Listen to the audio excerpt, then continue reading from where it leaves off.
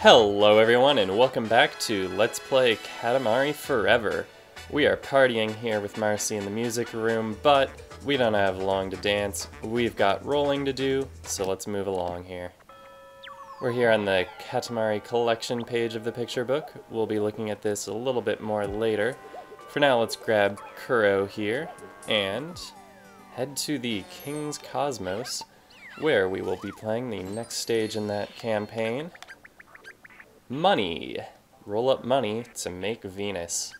And that may sound slightly redundant since we already had the rich stage previously. The goal of the rich stage was to roll up expensive things in the sense that they were wealth themed things.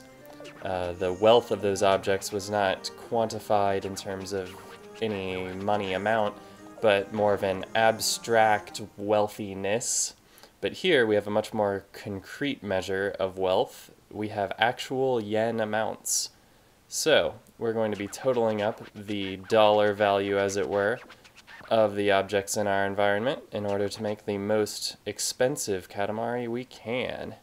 We've got Kuro there.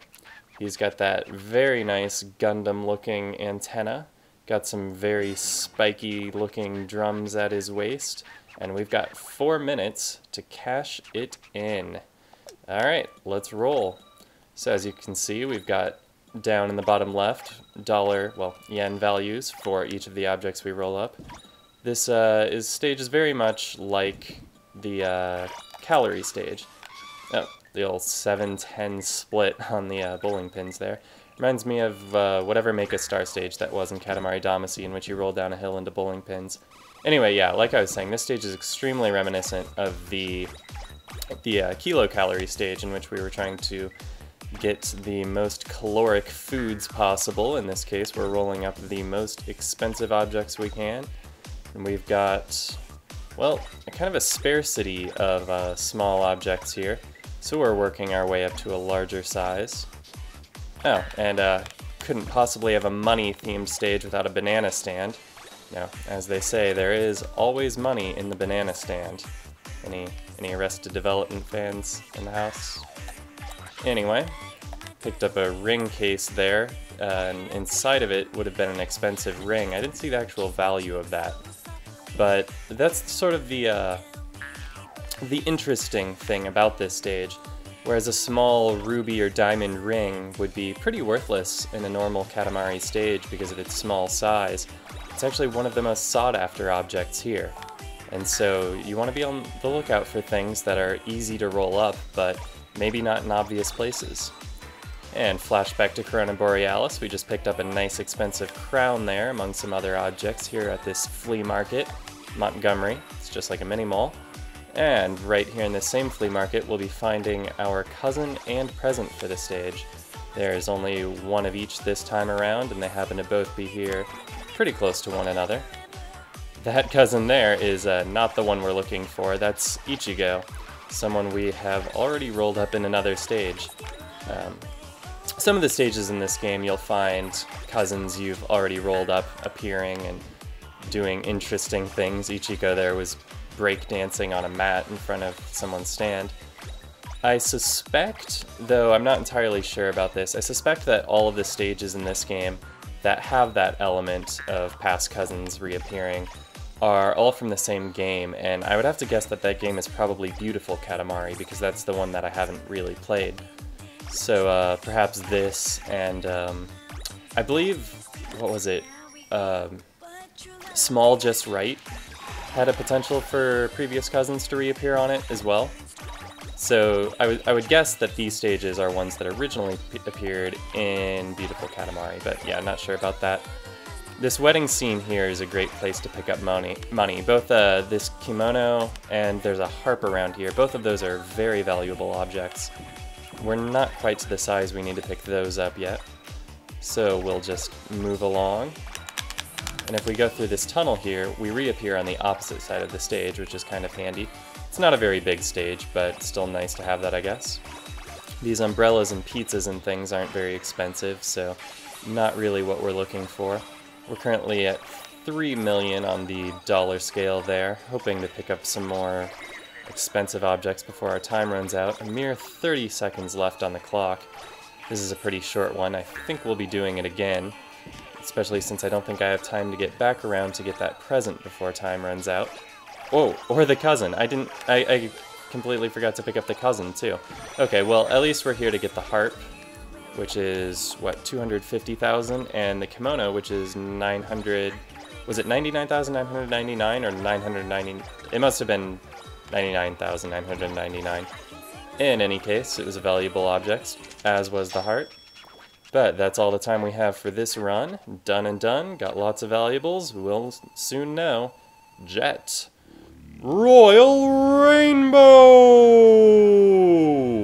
And total up our tab. How much is this Katamari worth? I would like to know. Were the prices always this crazy, or is it us? Yes, yes. Prices always on the rise, as are our Katamari's size. 4,705,637 yen. I have no clue whether that's good. I'm not familiar with the conversion rate. Especially the 2009 conversion rate. Mostly food, also partitions and cooking. The food things, sure. Are cooking things so pricey? I feel like that line would have worked better if food and cooking hadn't been so similar. A mere 23 points, but that's to be expected. I didn't feel particularly good about that run.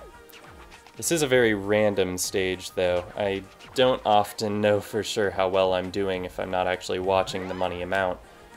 It's very little correlation between size and price. But we have plenty of time left. That didn't take long at all, so let's do it again. Hello everyone, I'm back here in the King's Cosmos looking to get real paid. Trying once again with 4 minutes on the clock to pick up as many valuable objects as we can.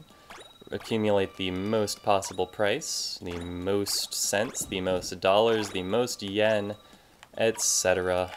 And we're also looking to pick up the cousin and present, which I unfortunately totally overlooked last time. Got a little bit preoccupied talking about cousins and expensive things. But what I did not talk about last time is this music. This is a mashup of You Are Smart from the original Katamari Damacy and um, Everlasting Love from uh, We Love Katamari, Minna Daisuki Katamari one of the most memorable songs from that game, definitely Everlasting Love was.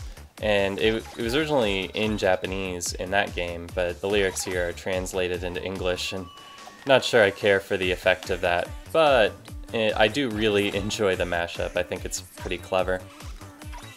And we're back here at the flea market, picking up that expensive crown.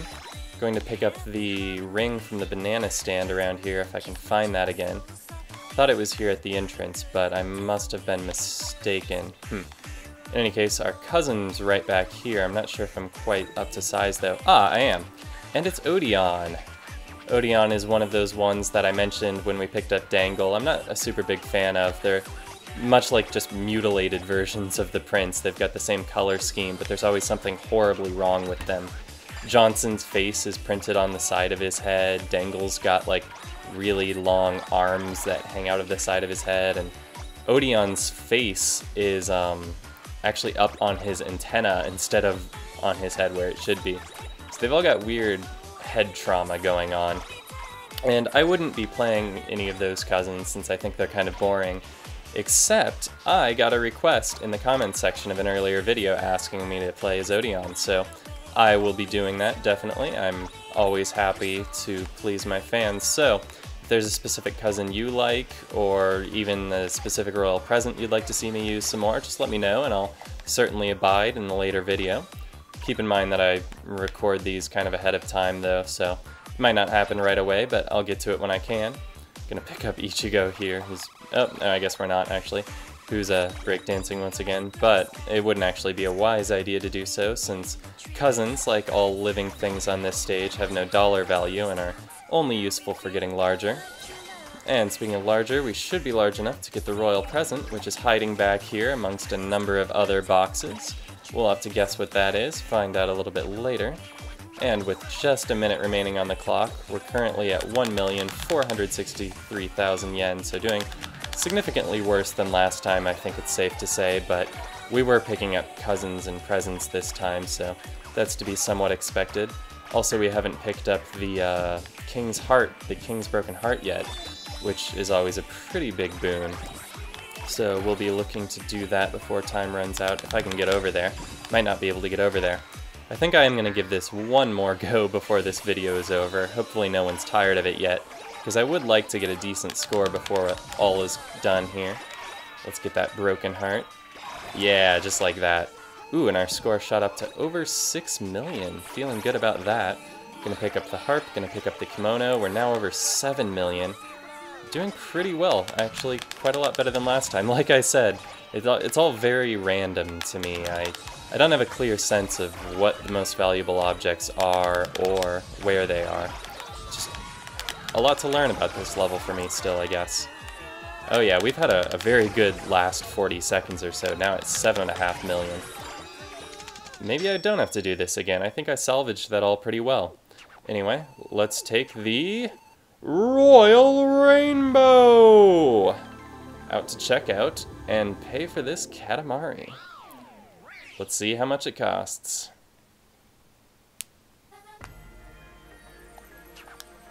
Just can't recall much about prices. I know the feeling. 7,625,760 yen.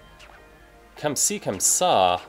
That, that sounds like a declaration of averageness. Interestingly, 999 objects. The seats, sure. Are adults so pricey? See, that's that's the kind of statement that we're supposed to get here.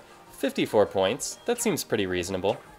You've done it now. Rock bottom Katamari. Hey, I thought it was I thought it was fine. We've done a lot worse than that. And there's our royal present. Looking a, a bit like horns there, but I think that's just because of Kuro. I think that's not what it actually is. And there's Odeon come to hang out. Do I want a star or do I want Stardust? Well, this uncomfortable bench Venus. Uncomfortable bench Venus? Oh, because we rolled up seating objects, and because we were average in quality, it's an uncomfortable bench. Weird. And I guess Overcooked Venus previously because we had mostly food and cooking things and we had a poor score. Um, I'm going to make a star. We're going to put that uncomfortable bench Venus right up there into space. To let that become part of our solar system.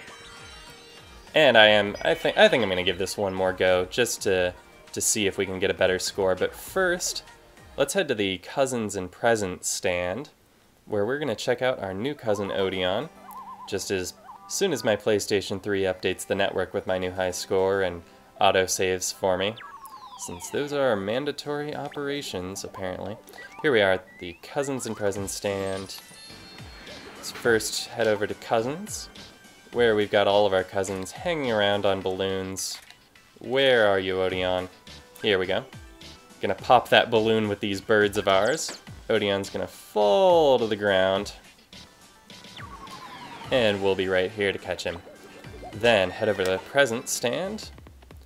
Oh wow, what a, what a mess. okay, so I think the the request was to see what Odeon would look like wearing the er, the scarf it was, yeah, the scarf.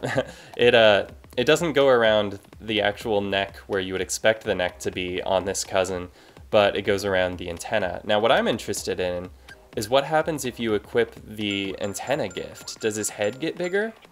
No, he gets a second antenna on top of his existing antenna. That's fantastic. All right, this is the cousin we're going to be taking as we do our third and last for today run of the Kings. Um, what was it? Money, money stage. Let's roll. Okay, back here for number three. Three might be one too many, but whatever. I feel like still playing, but I don't really have time to do another video right now. So here I am, playing the money stage once more. Let's see how we do on the bowling this time around. Boom! Still 8 out of 10. Alright, well, I'll pick up the spare anyway.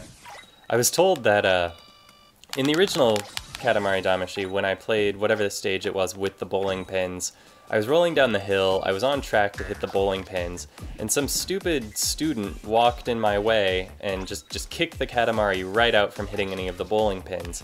And I expressed some frustration at this, and apparently I was a little bit too loud, some people told me. I I don't know about that. I just I think I normally speak really quietly because when I'm recording these, I'm alone in my room, so I don't feel the need to speak up too much. So when I say something loudly, like, oh, I don't know, Royal Rainbow or something like that, I've been told I come across as a little bit loud. but that's not going to change unless I start talking louder all of the time, and then those won't seem so loud in comparison, but I'm working on it. We'll see progress in time, just as we're seeing progress with this Katamari. Two minutes on the clock, working our way up to our first million. They say the first million's the hardest. I think that's the case here. And I'm just in an awful place filled with like radishes and crap. What I need is money, and vegetables are not money. So let's head over here to the flea market where lots of things are for sale. Some of them expensive. This trophy looks nice. What's a trophy worth? 55,555.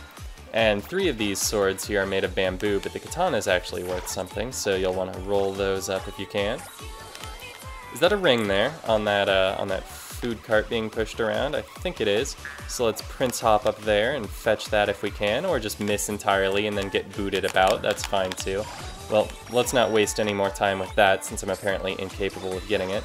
Look at that champion's belt there. Not sure how much that was worth since I rolled something else up immediately afterward, but I imagine it was somewhat expensive, given that it's possessed only by champions, which includes us, of course.